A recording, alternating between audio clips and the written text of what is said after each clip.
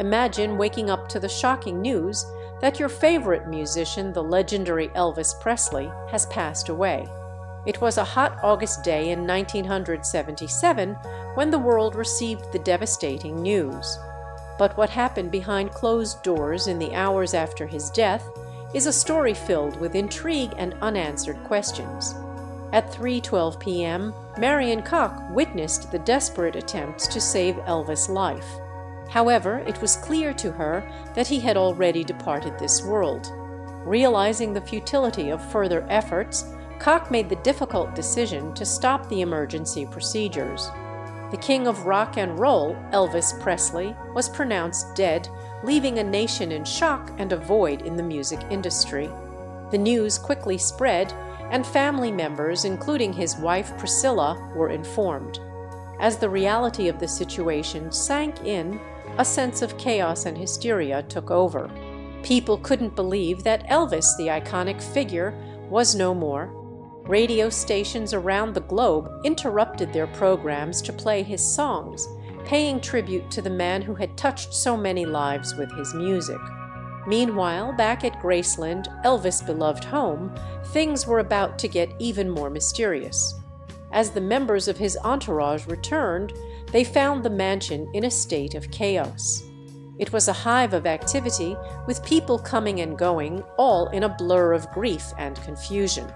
Among them were two emergency medical technicians, EMTs Ulysses Jones and Charles Crosby, who had been part of the team trying to save Elvis' life. Jones and Crosby decided to return to the bathroom where Elvis had taken his last breath. They wanted to retrieve their medical equipment, but what they found left them stunned. The entire room had been cleaned and sanitized. It looked like someone had gone to great lengths to erase any trace of what had happened there. The papers and equipment they left behind were gone, neatly packed away. This raised a lot of questions. Why would someone clean up the death scene? Who gave the order? And most importantly, why? The two EMT were confused and concerned. They knew that tampering with a death scene could hinder any investigation. It was as if someone didn't want any evidence to be found. As the EMT pondered these thoughts, they noticed a group of investigators entering Graceland. Dan Warlick, Lt. McCachran, and others were determined to find answers. They marched up the stairs, their faces serious, ready to examine the death scene. Little did they know, the room they were about to enter had already been altered. Upon reaching Elvis' bedroom, Warlick's eyes fell upon an unusual sight. On Elvis' desk, an empty syringe lay in plain view. It was almost as if someone wanted it to be found. But the more puzzling part was that the syringe had no needle. Warlick and his team were speechless. Why would Elvis have a syringe without a needle? What was its purpose? As they continued their investigation, the men discovered more strange things. Elvis had a sophisticated security system with closed-circuit televisions. It was as if he was always watching, even in death. The investigators were baffled by the discoveries and the questions they raised.